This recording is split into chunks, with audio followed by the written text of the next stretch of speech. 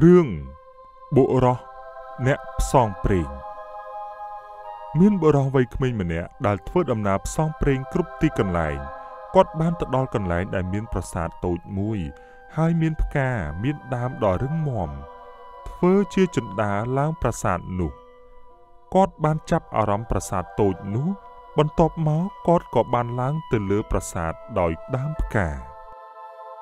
តើនៅទីនេះ មានមនុស្សទេ រំពេចនោះមានទេវតាតូចមួយបានចេញមកសួស្តីតើលោកមកកន្លែងខ្ញុំមានការអ្វីដែរសួស្តីទេវតាតូចដោយសារតែខ្ញុំធ្វើដំណើរផ្លូវឆ្ងាយពេកអស់អ្វីបរិភោគតាមផ្លូវហើយក៏បានឡើងមកដល់ទីនេះអូអញ្ចឹងទេមិនអីទេចាំខ្ញុំជួយផ្ដល់អាហារឲ្យលោកខ្លះសម្រាប់ហូប ទេវតាតូចបានធ្វើឲ្យមានម្ហូបអាហារពេញតុដើម្បីឲ្យគាត់បរិភោគនេះជាអាហារដែលខ្ញុំផ្ដល់ឲ្យលោកទុកហូបព្រោះលោកជាមនុស្សល្អបាទអរគុណទេវតាតូចខ្ញុំនឹងតបស្នងលើក្រោយវិញ បន្ទាប់ពីគាត់ហូបអាហារនោះរួចហើយគាត់ក៏បានលាទេវតាតូចទៅមុខបន្តទៀតអរគុណទេវតាតូចម្ដងទៀតសម្រាប់អាហារមួយពេលនេះខ្ញុំដល់ពេលដែលត្រូវធ្វើដំណើរទៅមុខទៀតហើយនឹង ទៅណាខ្ញុំទៅភូមិនៅខាងមុខនោះអញ្ចឹងខ្ញុំសុំលាសិនហើយចាសំណាងល្អតាមផ្លូវណាគាត់បានធ្វើដំណើរទៅដល់ភូមិដែលគ្រប់គ្រងដោយរាជណាចក្រមួយអ៊ំស្រីខ្ញុំឃើញគេនិយាយគ្នានឹងតើមានរឿងអ្វីកើតឡើងមែនទេ ត្រូវហើយក្មួយ ពេលនេះព្រះអង្គពិតជាខ្ញាល់ខ្លាំងណាស់ព្រះនាងត្រូវបានបាត់ខ្លួនហើយចុះមានដឹងទេ ថាអ្នកណាចាប់ព្រះនាងទេអឺរឿងនឹងព្រះអង្គមិនដឹងទេថាអ្នកណាចាប់ទ្រង់នោះប៉ុន្តែគ្រាន់តែអ្នកចាប់នោះផ្ញើសារគំរាមព្រះអង្គថា បើមិនចុះចេញពីរាជបល្ល័ង្កទេគេនឹងសម្លាប់ព្រះនាងហើយអូពិតជាមានរឿងបែបហ្នឹងផងមែនហើយព្រះអង្គពេលនេះបានបញ្ជាសេនាឲ្យរកព្រះនាងពីពេញរាជាណាចក្រហើយតើមានអ្វីចង់សួរទៀតទេ ទេខ្ញុំគ្មានអ្វីចង់សួរទៀតទេ អរគុណអ៊ំស្រីហើយ ដែលបានប្រាប់ខ្ញុំស្ថិតនៅក្នុងរាជវាំង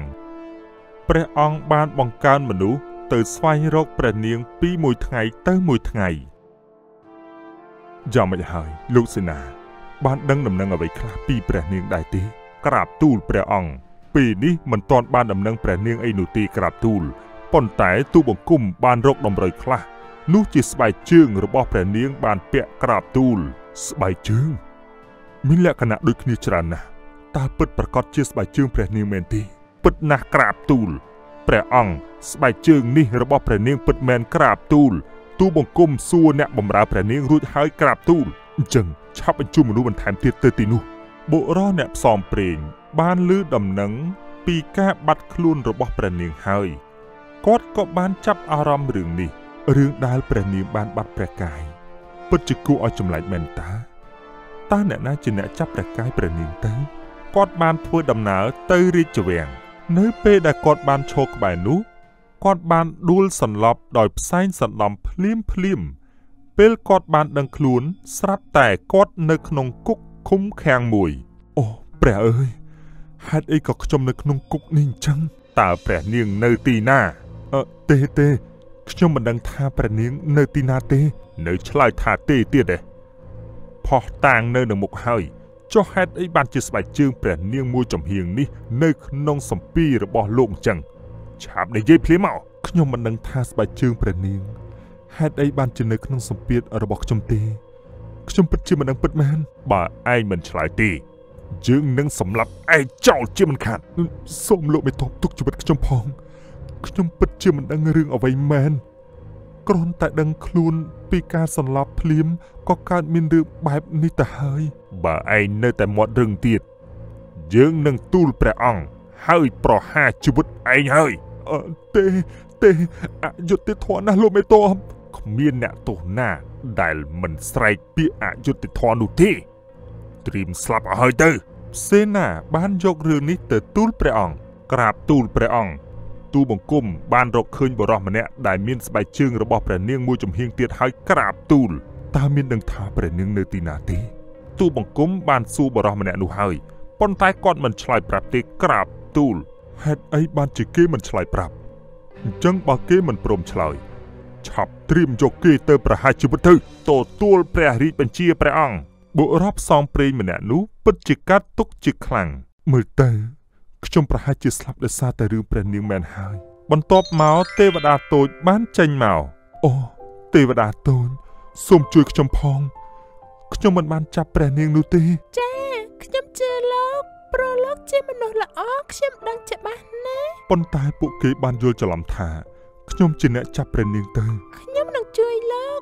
យកញញួរនេះទៅដើម្បីដំបំបែកជញ្ជាំងគុកនេះ បន្តមកទៀតនឹងទៅដល់កន្លែងដែលឃុំឃាំងព្រះនាងហើយគាត់ក៏បានធ្វើតាមទេវតាតូច ហើយយកញញួរខំប្រឹងដំទម្លុះជញ្ជាំងពីម្ខាងទៅម្ខាងរហូតដល់ធ្លាយតើលោកជាអ្នកណាទូបង្គំមកទីនេះដើម្បីជួយព្រះនាងទេ ពួកគេបានយល់ច្រឡំថាទូបង្គំជាអ្នកចាប់ព្រះនាងក្រាបទូលអូ ប៉ិតមែនទេខ្ញុំក៏មានរឿងចង់ទូលបិតារបស់ខ្ញុំដែរលោកឆាប់វាយជញ្ជាំងនេះឲ្យឆាប់ទៅក្រែងគេមកតាន់ណាទទួលបញ្ជាព្រះនាងគាត់បានប្រឹងវាយបន្ទប់នោះដើម្បីចាក់ចេញបន្ទាប់មកគាត់និងព្រះនាង បានទៅទូលព្រះអង្គរឿងដែលបានកើតឡើងអូបុត្រីបិតាបុត្រីព្រះបិតាទីបំផុតបុត្រីត្រឡប់មកវិញហើយមែនទេខ្ញុំម្ចាស់មកវិញហើយ ហើយមានរឿងជាច្រើនចង់ទូលព្រះបិតាទៀតបុរសម្នាក់នេះគាត់មិនមែនជាអ្នកចាប់បុត្រីទេ ហើយថែមទាំងជួយបុត្រីថែមទៀតគឺមេតបទេដែលជាអ្នកចាប់បុត្រីពិតប្រាកដហ៎មិនក៏មានរឿងកើតឡើងបែបនេះទៅវិញលោកមេតបតើវាជាការពិតទេក្រាបទូល ទូបង្គំដឹកខុសហើយក្រាបទូលសូមលើកទោសឲ្យទូបង្គំផងក្រាបទូលឯងពិតជាបង្កកំហុសធ្ងន់ណាស់ សេនាឆាប់ចាប់មេតបនេះដាក់គុករងចាំការកាត់ទោសភ្លាមទទួលព្រះរាជបញ្ជាក្រាបទូល ក្រោយមកបុរសអ្នកផ្សំព្រេងបានរួចផុតពីការចាប់ដាក់ទោសហើយព្រះអង្គក៏សប្បាយព្រះハរតីដែលបានព្រះនាងត្រឡប់មកវិញចប់